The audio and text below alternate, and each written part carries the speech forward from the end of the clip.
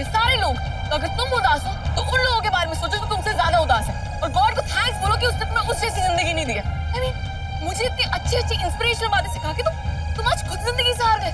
क्यों कर रहे थे तुम? हो गया। मैं वहाँ सुसाइड करने के लिए नहीं खड़ा था। मैं वहाँ इसलिए खड़ा था ताकि मेरे मन में ऐसा घटिया ख्याल कभी नहीं आए निरूपा रॉय। देखो समुंदर यहाँ से इसे देखता हूँ तो मेरे दिल को सुकून मिलता है। इसकी अनगिनत लहरें हर पल शोर करती। लेकिन फिर भी ये शोर सुन के मन को शांति मिलती। लेकिन मैं तुम्हें ये समुंदर क्यों दिखा रहा हूँ? दादा दिखा है तो कहीं तुम ही सुसाइड करने का प्लान ना बना लो। और तुम्हें सच में लगता है कि मुझ जैसा कूल डू जो लाइफ को एंजॉय करता है, वो सुसाइड कमिट करेगा? कहीं ऐसा तो नहीं है। ये सब मुझे चिपकने के बहाने थे। कल रेस्टोरेंट में चिपक गई। आज तो पूरी लोट पोट हो गई। हम्म बॉस ये जो चिपकने के आइडियाज़ है ना मैं कॉलेज में कर करके छोड़ चुका हूँ। तो don't try this on me okay ऐसे है मैं कोई तुम्हें छूने के बहाने नहीं ढूंढ रही हूँ। मैं बस तुम्हारी जान बचाने की कोशिश कर रही थी। और इसी में मैंने मैं तुम्हें क्यों एक्सप्लेन कर रही हूँ? आई डोंट नो तुम तो वही सोचने वाले तो हर वक्त तुम्हारे दिमाग में चलता रहता है। करेक्ट थैंकलेस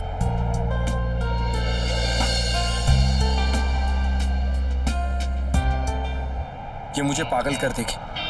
शिखर इसे घर से निकाल नहीं पाया। दिमाग से तो निकालना ही पड़ेगा।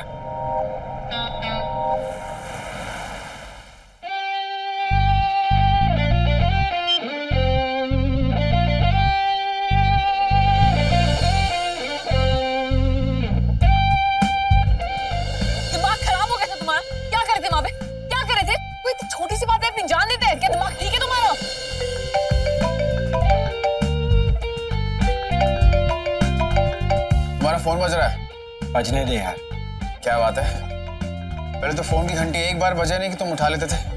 अब क्या हो गया? किसी लड़की का होगा उठा लो। लड़की का होगा तो बिल्कुल नहीं उठाऊँगा। ऐसा क्या हो गया? कहीं तुम्हें इश्क तो नहीं हो गया?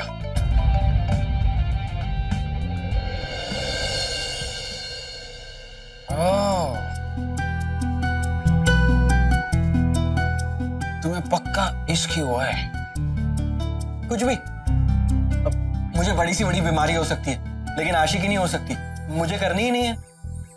ये सोच के थोड़ी ना होती। है ये तो बस हो जाती है। और इसका सबसे पहला साइन होता है इग्नोरेंस इंसान मानने को तैयार ही नहीं होता है। उसे प्यार हुआ है और वही तुम कर रहे हो। प्यार के बारे में कुछ पता ही नहीं है। तो मना ही करूँगा ना। हाँ लेकिन कुछ दिनों से मेरे साथ बहुत अजीब अजीब सा हो रहा है। प्यार अजीब सी चीज़ होती है। और ये मैं इसलिए बोल रहा हूँ क्योंकि मुझे भी एक बार प्यार हुआ था। एनी एनीवेज तुम मुझे बताओ कि क्या तुम्हें आजकल रफी साहब के गाने सुनने का मन करता? हाँ। लेकिन इससे प्यार का क्या लेना देना? रफी साहब शाहरुख खान थोड़ी है। जब इंसान प्यार में होता है तब उसे रफी साहब के गाने सुनने का मन करता है। ओके।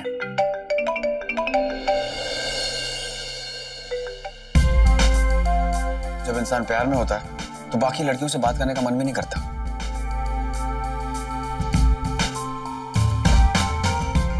ऐसे वो लड़की कौन है? जिसने तुम जैसे दिलफेक आशिक को अपना आशिक बना दिया। निरूपा।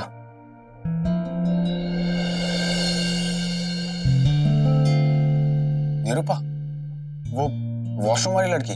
हाँ भाई यार जब से लाइफ में आई ना लाइफ की वाट लगा दी। दिमाग का बैलेंस हिल गया। सोचता कुछ और हूँ करता कुछ और क्यों ऐसा क्या हो गया?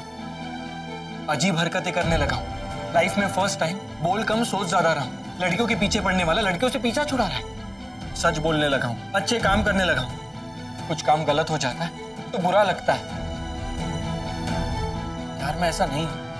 मैं खुद को बदलते हुए देख रहा हूँ, और मैं कुछ कर नहीं पा रहा। ऐसा लग रहा मैं खुद ही चाहता हूँ मैं अच्छा बनूं, वो भी एक लड़की के लिए।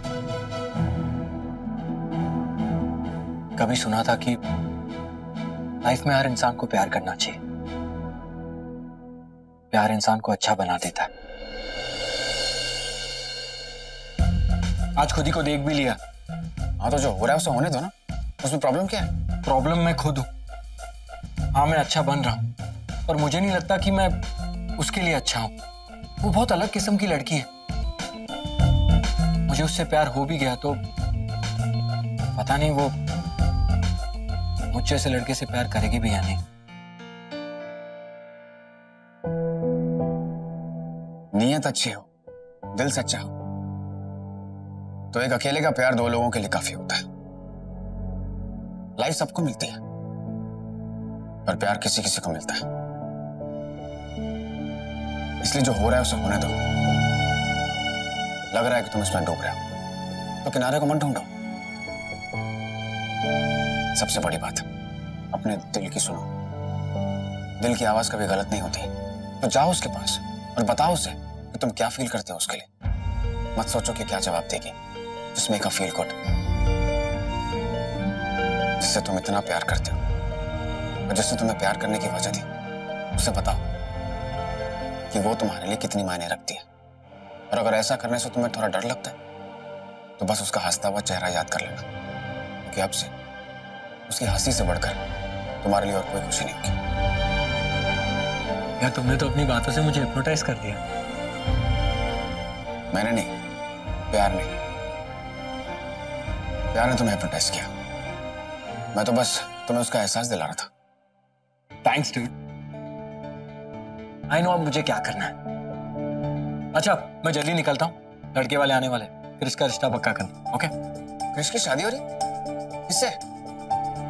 है कोई ओवर स्मार्ट लड़का? खुद क्रिस ने ही पसंद किया। देवर्ष पारे। पारे। देवर्ष पर? तुम जानते हो उसे? हाँ रितिका इज़ इट अर्जेंट ठीक है मैं भी आता हूँ। तेरी फ्रेंड का फ़ोन था। अर्जेंट काम है जाना पड़ेगा। एनीवेज इस टॉपिक के बारे में बाद में बात करेंगे। And don't worry Devarsh is a nice guy best of luck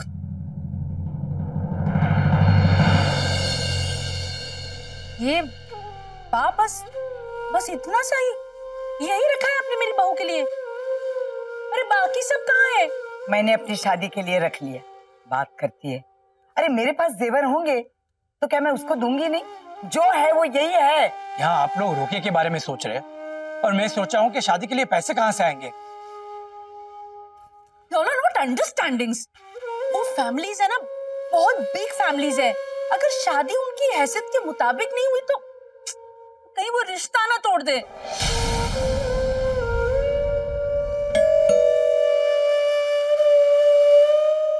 अब काका मैं देखता हूँ।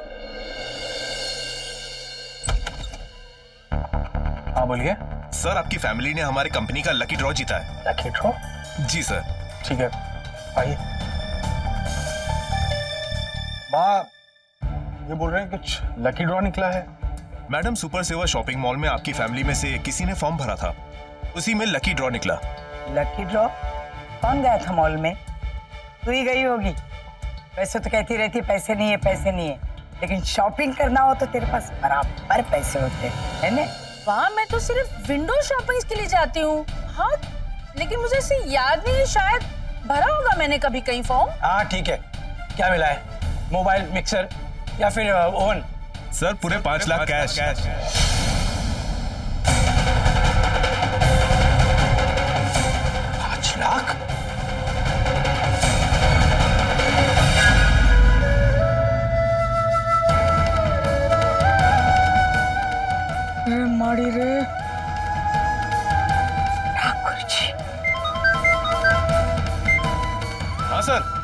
सर मैंने पैसे दे दिए सर। हाँ सर। Okay sir.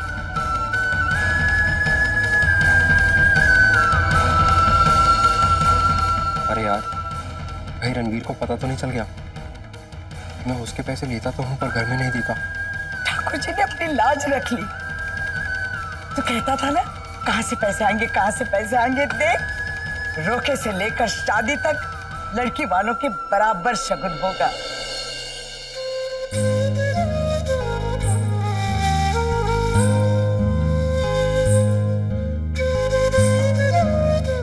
हो रहा तुम्हें तो परेशान क्यों दिख रहे हो?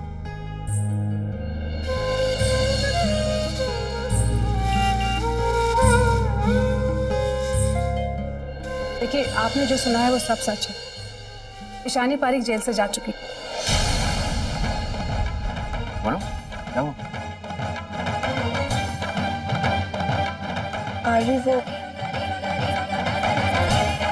आरवी मुझे तुमसे एक बहुत इंपॉर्टेंट बात करनी है। कौन सी बात? कैसी बात? तो हम दोनों की ज़िंदगी से जुड़ी है। और हम दोनों की ज़िंदगी बदल सकती है। ऐसी कौन सी बात है बता। आरवी जो बात मैं तुम्हें बताना चाहती हूँ वो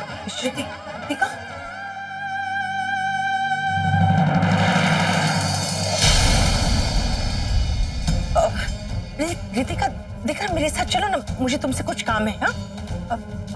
मम्मा एक मिनट। एक मुझे- मिनट तो नहीं नहीं है।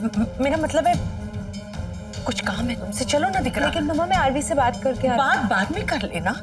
वो मुझे तब से चक्कर आ रहे हैं। और मेरी दवाइयाँ कहाँ रखी है? सिर्फ़ तुम्हें पता है। तुम मुझे दवाइयाँ दे दोगी मैं आराम कर लूँगी तो मुझे ठीक लगेगा।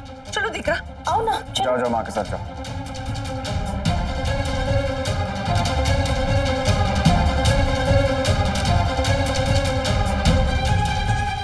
ऐसी कौन सी बात है जो हमारी ज़िंदगी बदल देगी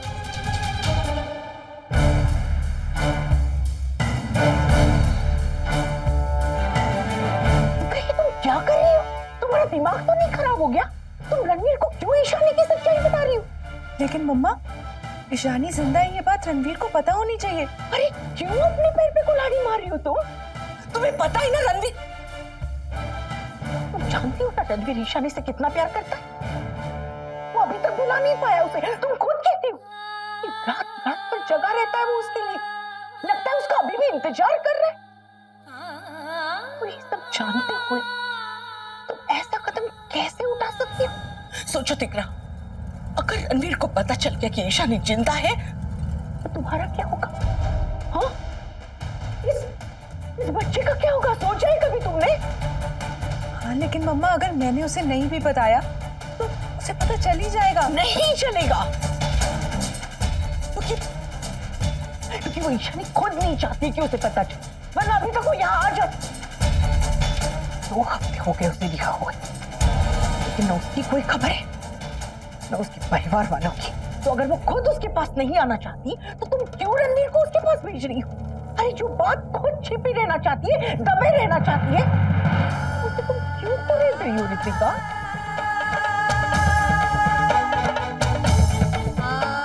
ठीक कह रहे हो मम्मा। लेकिन फिर भी मुझे ये सब ठीक नहीं लग रहा। ठीक लगेगा दिकरा अपने बच्चे के बारे में सोचोगी नहीं तो सब ठीक लगेगा। दिकरा किस्मत भी यही चाहती है तुम रणवीर के पास रहो।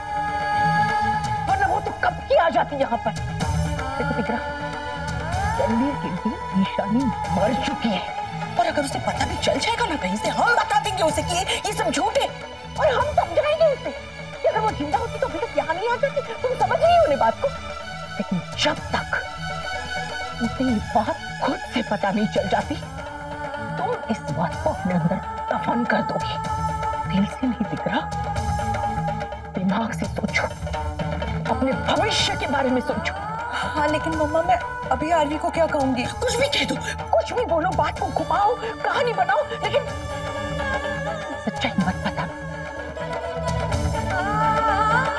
लेकिन तुम्हें तुम्हारे बच्चे की कसम है ऋतिका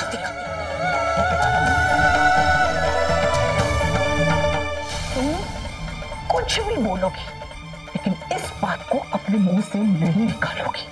ये राज हम दोनों के बीच ही रहेगा। देखो, दिख रहा। रणवीर अभी तुम्हारी तरफ़ बढ़ने लगा है। बढ़ने दो उसे। उसे अपने अतीत से निकलने दो। फिर देखना एक दिन वो तुम्हें पूरी तरह अपना लेगा। तुम्हारे बच्चे को अपना लेगा। फिर मैं तुमसे शादी कर लेगा अपना अपना परिवार बसा लो मैं अपने बेटे को खुश देखना चाहती हूँ। मेरे बेटे को खुश देखना चाहती क्या तुम उसे खुश नहीं देखना चाहती?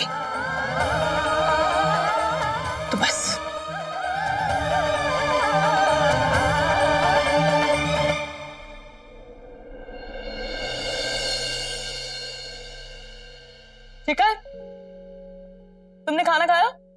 आई एम श्योर नहीं खाया होगा। आओ मेरे साथ खा लो। मैंने भी नहीं खाया। कम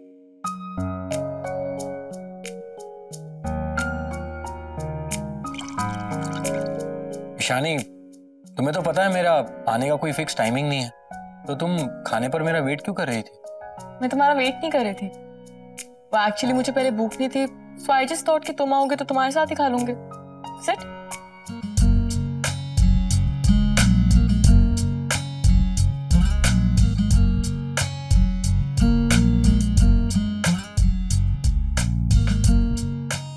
भिंडी? भिंडी। वो एक्चुअली मुझे और कुछ बनाना नहीं आता। बिठाओ भिंडी में कई बार बना चुकी हूँ। वो किसी को मेरे हाथ की भिंडी बहुत पसंद थी। ऐसी भिंडी तो मैंने इतने सालों में नहीं खाई। बस, मन कर रहा है कि जिसने भिंडी बनाई हो ना, कसम से उसका हाथ छू लूँ।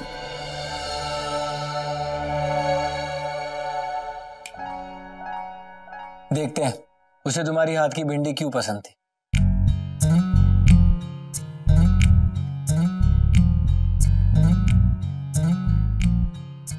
तुम उतनी भी बुरी नहीं हो जितना मैंने सोचा। आई सेड भिंडी इतनी भी बुरी नहीं होगी जितना मैं सोच रहा था। खाओ लो थैंक यू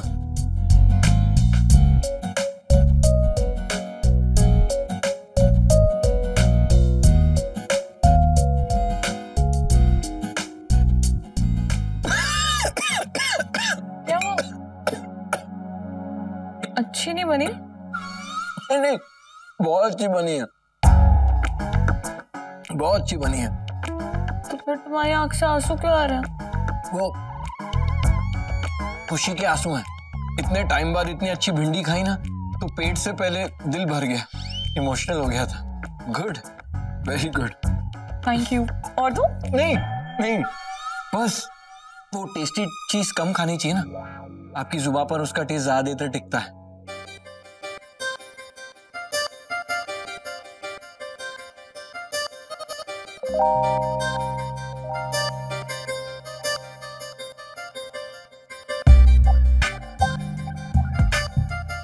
ये तो मैं अच्छी लगी।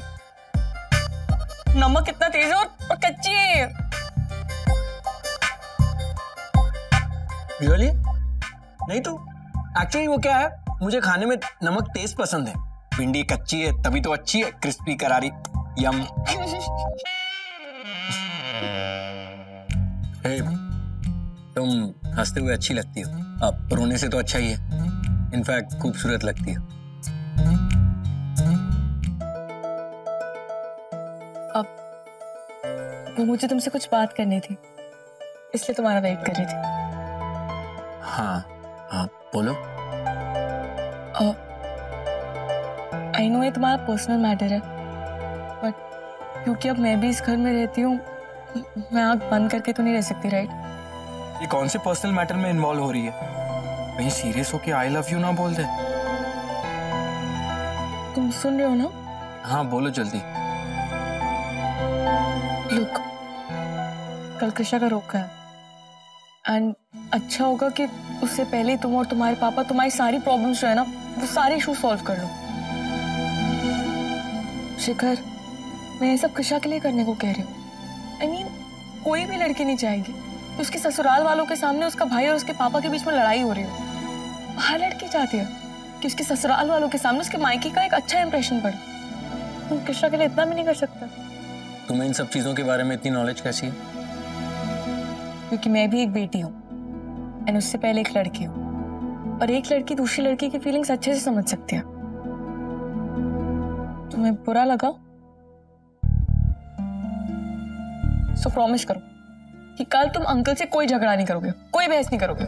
लेकिन अगर उन्होंने अगर उन्होंने कहा फिर भी बहस नहीं करोगे। तुमसे बड़े हैं वो और तुम कृष्णा के लिए इतना भी नहीं कर सकते। यू नो व्हाट लॉयर तो तुम्हें होना चाहिए था। जैसे तैसे बात बनवा ही लेती हो। So promise promise promise good